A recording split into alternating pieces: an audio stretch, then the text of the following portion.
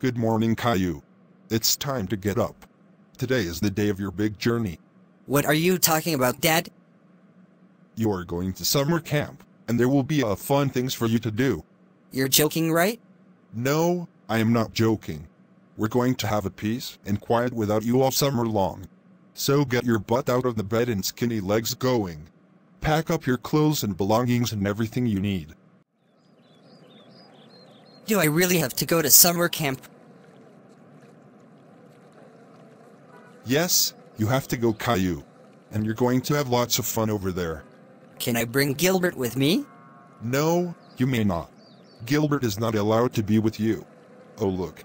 Here comes the school bus. When Caillou arrived to summer camp.